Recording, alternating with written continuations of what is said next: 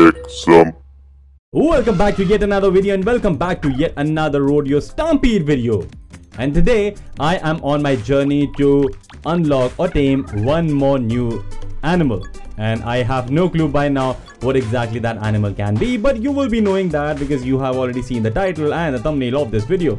But I have not. I have no clue what exactly is going to happen right now.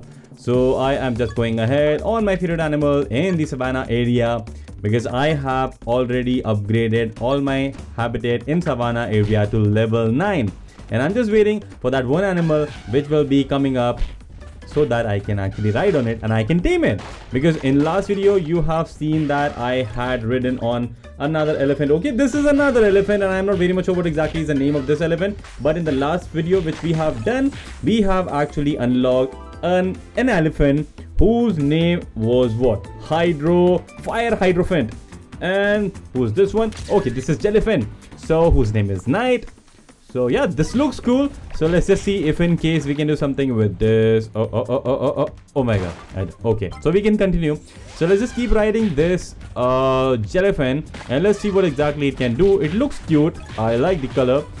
Will we be able to find any other animal in this one will we be okay let's just go ahead see this if in case we can we will definitely unlock that as well if in case we will not be then yeah it's cool enough we will anyways be doing another video so guys if in case by now you have not subscribed to TechSome for awesome daily videos please make sure that you are hitting that subscribe button because yeah i need your support and we died and I just moved from Elephant Novice to Elephant Wrangler. So that's what we have in this video. Please like this video for sure and comment and subscribe and we'll see you again in the next one.